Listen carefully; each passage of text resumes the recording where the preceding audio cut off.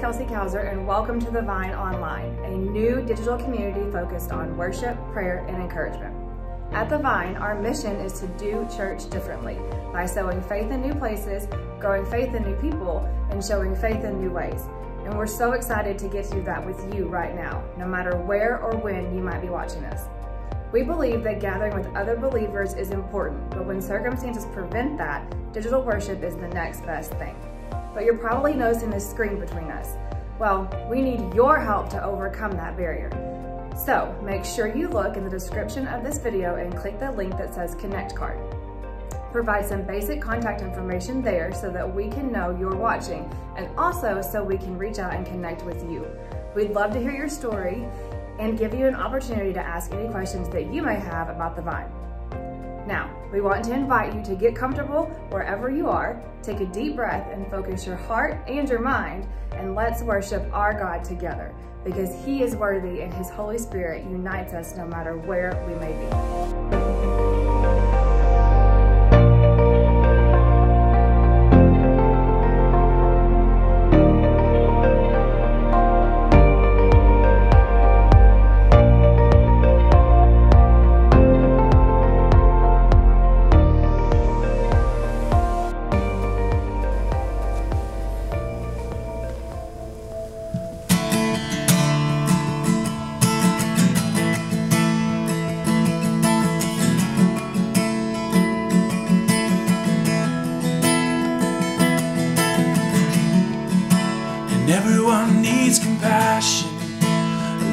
That's never failing. Let mercy fall on me. And everyone needs forgiveness, the kindness of a Savior, the hope of nations.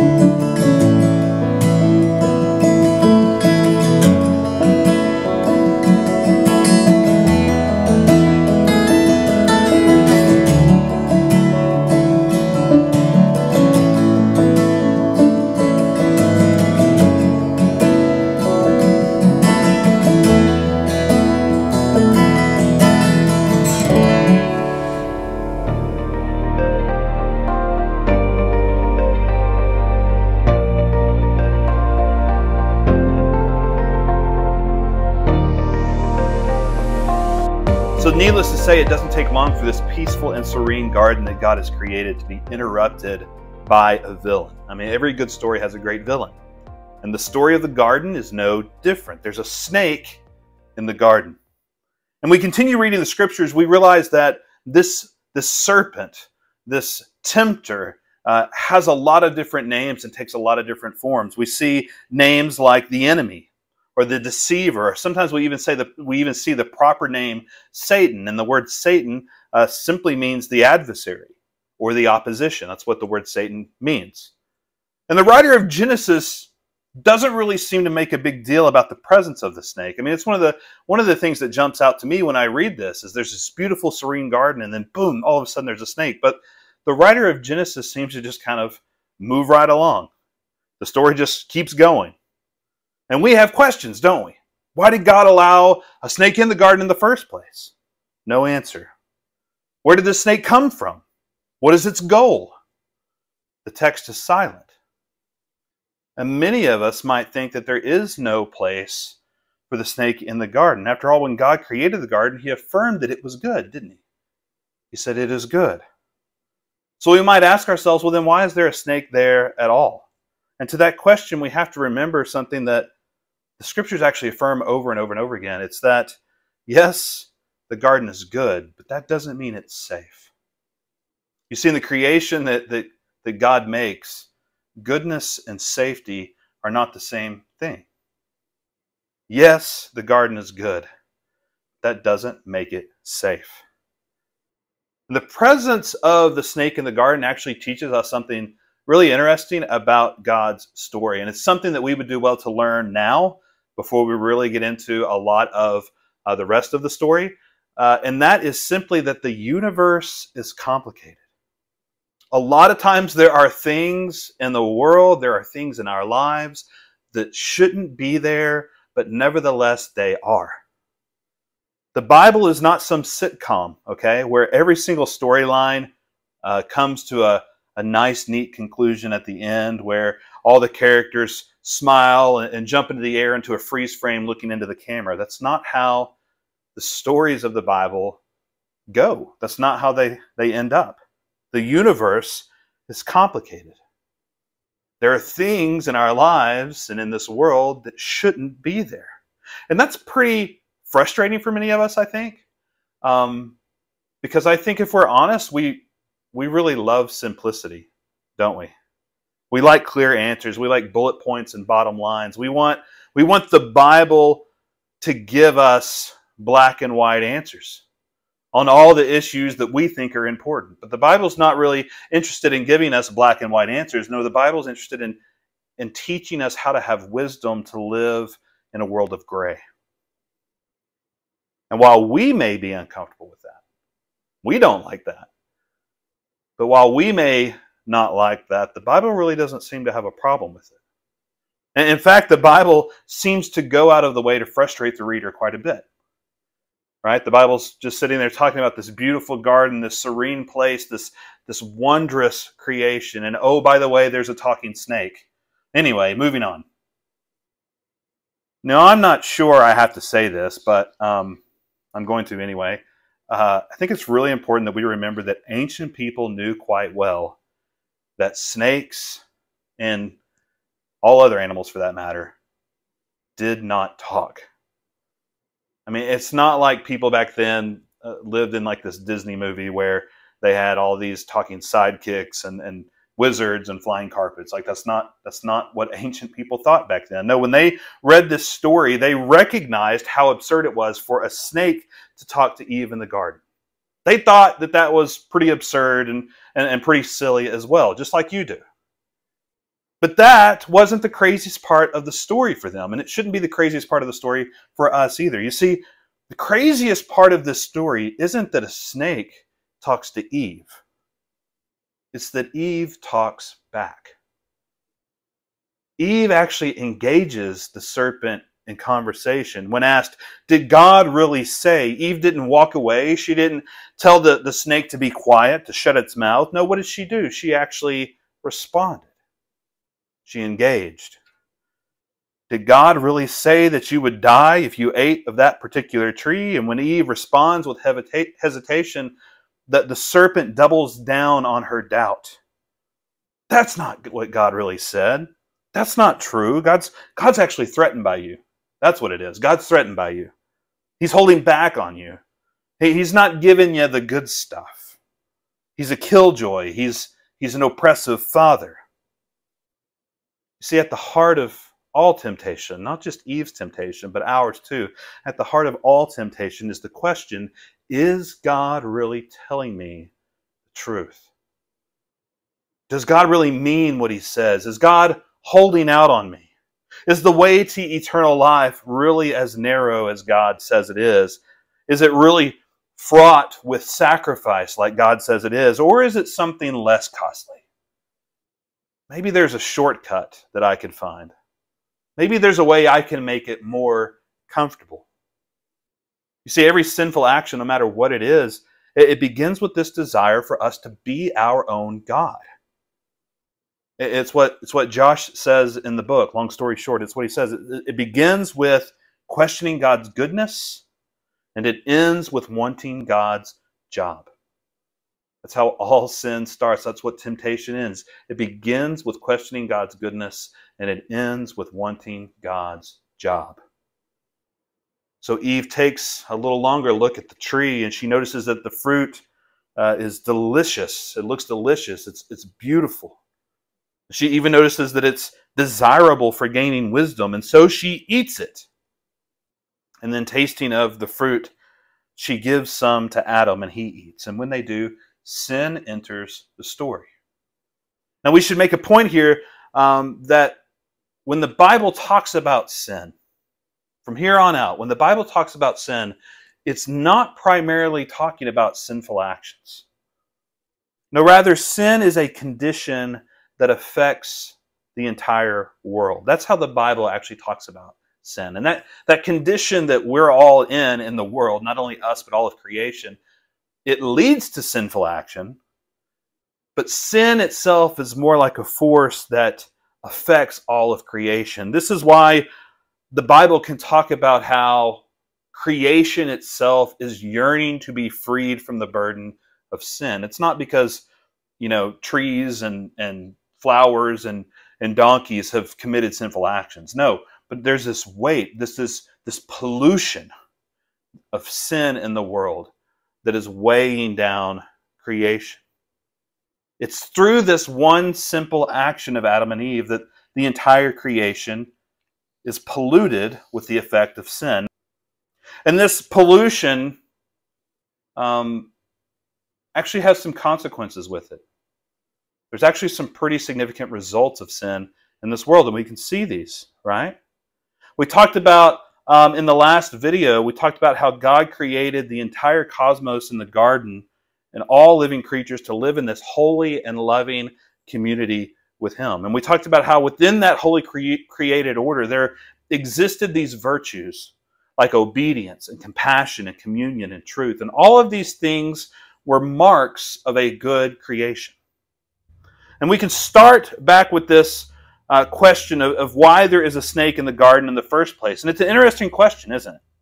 It's an even more interesting question if you think about what the serpent says, because the serpent doesn't really lie to Adam and Eve. No, the serpent tempts them, but it doesn't lie. Rather, the serpent, the tempter, tempts them to act in a way that is contrary to God's command. You see, if obedience is to be a component of God's good creation, then there must be a certain amount of freedom that exists in the created order. In other words, if it, for, for it to be true obedience, there must be freedom to obey and freedom to disobey. There must be a freedom to obey or rebel. Because God can't force you to obey. If God forces you to obey, that's not true obedience, that's coercion. True faithful obedience must always include the freedom to obey or rebel. And it seems to me that a likely role of the serpent in the garden is to tempt Adam and Eve to disobey. To test them so that they actually have an opportunity to be obedient. Why? Because obedience is a virtue in God's created order. This is the same kind of role that, that Satan, the adversary, seems to have in the book of Job. If you remember the book of Job, the story of Job, when he asks for God's permission to go down and what?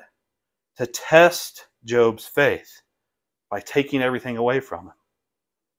So maybe that's why the snake is there, to give Adam and Eve an opportunity to be obedient to God's word. But we all know what happened. They were not obedient. They rebelled. They thought they knew better than God. And, and that's the same sin that we fall into ourselves over and over and over again, don't we? You and I know this is true. That we have time and time again, we have the opportunity to obey God's word, but what do we do? We choose to rebel. We choose rather to disobey. You see, the story in the garden, it's not just a Bible story, it's our story. It's not just true because it's in the Bible, it's true because it happens in our lives every single day. Another consequence of sin is our tendency to look toward our own interests above the interests of others. We see in the garden that God commands humanity to steward over all creation, to care not only for one another, but to care for the birds and the animals and the plants and the oceans. And you might say that this, is, this was an outward posture. That Adam and Eve were called to look outside themselves and to care for things outside themselves, to, to really concern themselves with the needs outside instead of their wants and desires inside. This is true compassion. Place the needs of others before my own wants and needs. But of course, when sin enters the world, we quickly notice that our focus becomes less about others and it becomes more about ourselves. So we develop this inward posture where our focus is curved in on our own wants and our own needs. It's about us. Back in the fourth century, uh, this doctor of the church, St. Augustine, said that our will becomes incurvatus in se, and that's a Latin phrase that literally means to be curved in on itself. See, in other words, God creates us for compassion, but when sin enters the world, our compassion is deformed into corruption. Our outward focus is turned inward on itself, and we begin thinking more of our own wants and needs instead of first considering the needs of others. We, we quit treating others like people and we begin to treat them like products. Products to be used for our own selfish consumption, which quickly leads to a breakdown in our ability to have true communion with God and one another. I mean, you can kind of see how there's a domino effect of all these, right? You know, the in the last video we talked about how creation was made from communion and for communion. That's the entire point of God's creation. And yet, when sinner, sin enters into the story, we quickly see that barriers begin springing up not only between us and God, but between us and one another. You know, probably the clearest example of this we see is that when Adam and Eve realized their nakedness for the very first time, right after they sin, what's the first thing that happens? They realize their, neck, their nakedness and they craft clothing for themselves uh, out of fig leaves. Now, don't overlook that, right? Now, that's just like a silly little, little part of the story that we, we kind of gloss over a lot of times or we snicker at if if you're like me and you're, you know, in your preteens, you snicker at them being naked. They realize they're naked. How can they just now realize they're naked? That's weird. But you see, Adam and, Adam and Eve's focus was exclusively on the other. They were so focused on the other that they didn't realize their own nakedness. That's how much they weren't focused on themselves. But sin enters the story, and all of a sudden they realize their nakedness. They begin thinking about themselves, and more specifically, what other people might think of them. So they make coverings for themselves. And when God finally finds them, right, because they're hiding, they're putting up that barrier between themselves and God, they're hiding. God asks them, Who told you you were naked? In other words, who told you to focus on yourself? more than others. And so slowly but surely they began to choose isolation instead of communion with God and others. And we still do that today, don't we? And many of us would rather hide and choose isolation than to risk being truly known in a meaningful way. I can totally understand why. Look, I get it, friends. Because for many of us, right around the time we open ourselves up to other people, that's right around the time that we get hurt by other people. So in a way, it's a safety mechanism. Not in a way, it is a safety safety mechanism. We would rather be isolated and safe than be truly known and run the risk of being hurt. But just like we did in the garden, too often we confuse goodness and safety. No, it's not safe for you to put yourself out there in order to be known by other people and to truly know other people. It's not that's not a safe thing. But it is good. It is good. It's risky and it can hurt. I'm not diminishing that. It can hurt. But friends, it is good. Is good for us to do that. You see, when sin enters the story, the risk, the risk becomes too great, so we choose isolation over communion. Even though we are created from community and for community, we still choose isolation over communion. And that's because sin has left a lasting burden of shame on the world. And we talked about Brene Brown's definition of shame in the last video that shame is the fear of being unlovable. But it's actually deeper than that. Because Brown goes on to, to make the point that guilt and shame are, are often seen as the same thing in our culture. Guilt and shame are often conflated, they're made, made to be the same thing. But they're actually very different, she says. She says that guilt says, I've done wrong. And that can be a helpful emotion um, when it's nurtured the right way because it can draw us back to repentance from whatever that uh, wrongdoing was. But guilt says I've done wrong. Shame is, is a lot deeper and it's different. Because where guilt says I've done wrong, shame says I am wrong. I am wrong. Friends, here, here's where the deceiver begins to work because we must remember that God calls his creation good. You need to hear that truth today. Set aside the shame that says that you are wrong and listen instead to the truth that God gives you that says, No, I created you good. God's word can be trusted because God's word is true. We must remember the truth that our God has created us in his image to love him and to live in holy communion with him throughout all eternity. Yes, there is sin in this world, but at its core, God still says, No, my creation is good. Yes, you are a person polluted by sin, weighed down by the burden of sin, but God still calls you good. You are a child of God marked with his holy image, and all of creation is his holy temple. And God will not give up on his creation.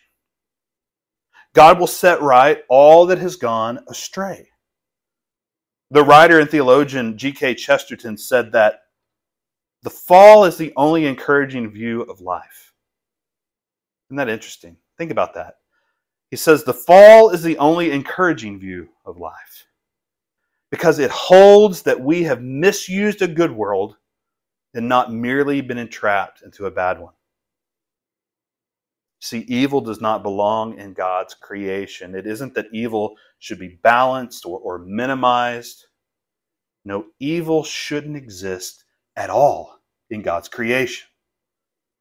So, how will God eradicate that evil? How will God purify the world from this pollution of sin? How will God begin to set right everything that has been warped and corrupted? Well, we actually get a hint of that in Genesis chapter 3, verse 15. This is such an important verse. This is what the early church referred to as the proto evangelion, the, the first gospel. So before we had Matthew, Mark, Luke, and John, we had Genesis 3:15. Before we had Jesus of Nazareth, we had Genesis 3:15.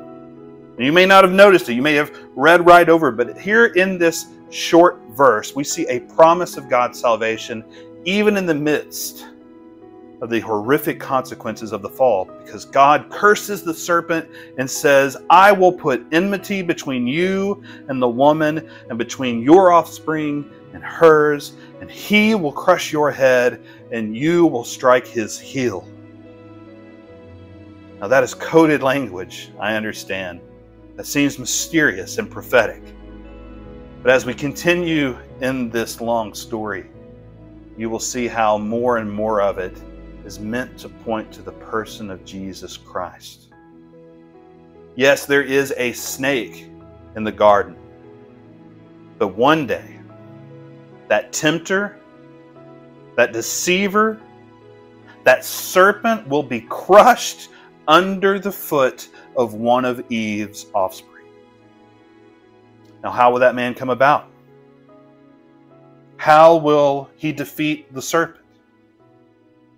And how will he purify all of God's creation? Well, to learn more about that, you'll have to watch our next video. We'll see you then. Amen. Hey friends, my name is Amanda Worthy, and I'm the Community Coordinator for The Vine. At The Vine, we believe our worship isn't over until our neighbor is served.